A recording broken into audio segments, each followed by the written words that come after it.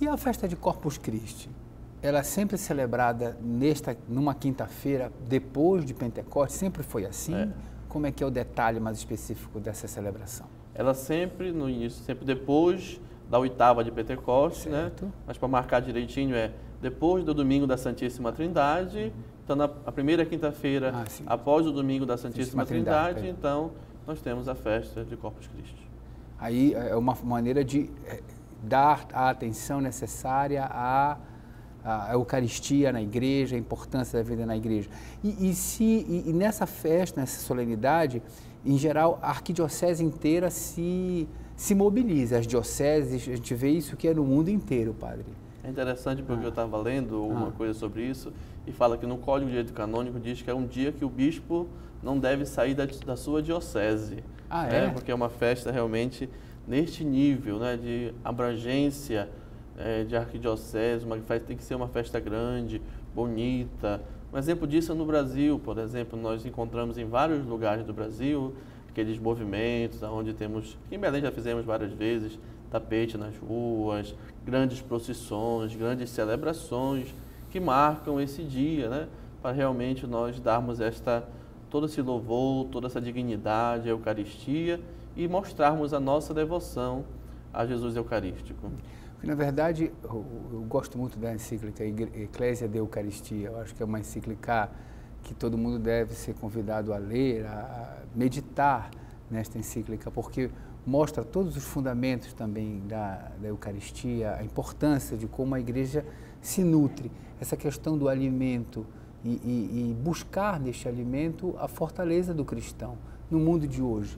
Como, como viver sem se alimentar da Eucaristia? É muito difícil, acho que para um cristão é, que não se alimenta da Eucaristia. São tantas fontes no mundo, de tantas coisas, mas a fonte principal é Jesus Eucarístico. Então, podemos até fazer uma analogia, lembrando, né? o alimento que nós comemos todos os dias. Se nós não comemos todos os dias, nós vamos enfraquecendo, nós vamos é, ficando fracos e provavelmente iremos morrer.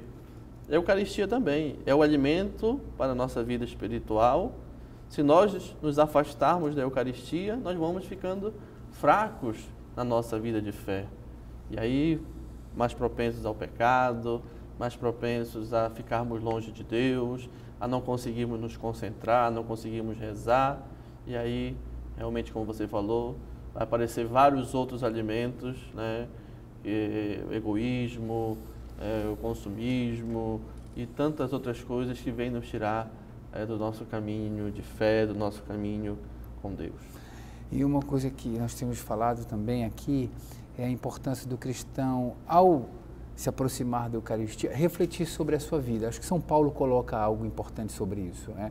é poder se aproximar do corpo e sangue do Senhor, mas de uma certa forma questionar sobre como está vivendo a própria vida.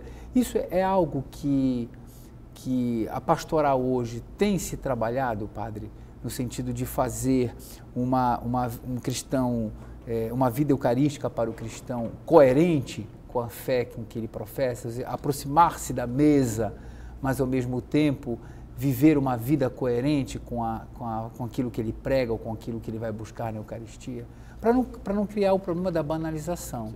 É, acho que esse, esse que é o que eu queria colocar. É, primeira coisa, lembrar que sempre dois sacramentos são muito juntos, é o sacramento da Eucaristia e o sacramento da reconciliação, ah, da penitência. Né? Uhum. Então, primeiro, essa catequese, esta busca de levar os fiéis a entenderem que o sacramento da penitência, ele vai nos preparar, ele vai nos é, tornar capazes de viver o sacramento da Eucaristia, uma vez que purificados, uma vez que em paz com Deus, reconciliados com Deus, nós então podemos participar. Então a nossa vida deve ser uma vida que não esteja no pecado, principalmente no pecado mortal, né, para nos aproximarmos da Eucaristia. Nós devemos estar reconciliados com Deus, reconciliados com o irmão, porque ali quando recebemos o corpo do Senhor, nós comungamos o próprio Cristo e entramos em comunhão com Ele. Então, é preciso estarmos bem uhum. para recebermos o Senhor. Uhum. Agora, também eu, tenho visto aqui no Congresso Eucarístico, daqui a pouco a gente vai falar até do Congresso Eucarístico, mas é uma preocupação é, em fazer com que haja não só uma participação pessoal, mas comunitária. a Eucaristia ela tem uma dimensão muito forte comunitária, não é isso, Padre? Comente um pouco para nós disso. É, é, a comunidade que se reúne para celebrar. Né? Então, esta vivência comunitária, de eu vejo, falo muito sempre que é preciso nós entendermos até o nosso ir à igreja, uhum. Já é uma peregrinação. Então, a comunidade que sai das suas casas, muitas vezes do seu individualismo, do seu comodismo, para estar ali numa comunidade, né? todos em comum, porém numa unidade, que é Jesus Cristo. Né? Muitas vezes nós nem conhecemos quem está do nosso lado uhum. e naquele momento ali começamos a conhecer. E por que estamos ali? Porque amamos Jesus, porque estamos ali para celebrar o mistério pascal de Cristo. Então, esta comunidade que sai, que peregrina para junto celebrar a Eucaristia. Uhum. E, e, junto trabalha também em prol dos irmãos, é o sentido da, do, da comunidade que se nutre e dá as mãos. Como se diz, acabou a missa, agora começa a missão. Né?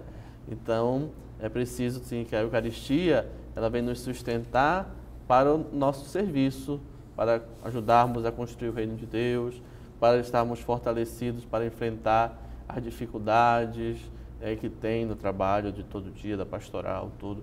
Mas quando nós estamos fortes, estamos com o Senhor, aí nós conseguimos também. Então a Eucaristia vai nos fazer comunidade para vivermos a comunidade no dia a dia e aí vivermos como cristãos que querem levar aos outros também esta alegria. O Papa Francisco vem nos falar isso, né? Mostrar aos outros a alegria de ser cristão, mostrar aos outros a alegria de ser missionário, de ser, serem pessoas eucarísticas, que vão à adoração, que vão à missa, que participam, que realmente pertençam à comunidade. Né? A, Eucaristia importa um compromisso, né? Ser um cristão eucarístico significa ser, ser missionário, assumir um compromisso com a igreja também. Não é só comungar e ir embora para casa, é isso que eu é. quero colocar, é assumir um compromisso. E o Congresso Eucarístico, que a igreja o 17º Congresso Eucarístico Nacional, que vai ocorrer de 15 a 21 de agosto de 2016. O padre Roberto Cavalho é o secretário executivo do Congresso Eucarístico. Iremos falar daqui a pouquinho, próximo bloco, sobre esse Congresso Eucarístico, que todos nós também estamos nos preparando. Não saia daí, TV Nazaré Amazônia falando para a Amazônia.